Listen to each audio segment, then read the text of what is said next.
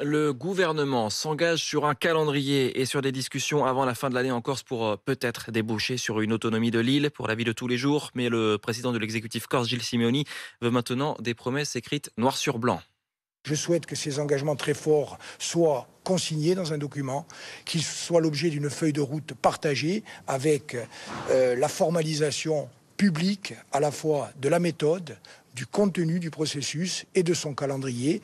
Dans ces conditions-là, nous pourrons considérer que nous avons posé la première pierre d'un processus historique. C'est notre volonté, c'est euh, la condition sine qua non d'une sortie de logique de crise et de conflit pour aller vers une logique d'apaisement et de construction politique partagée.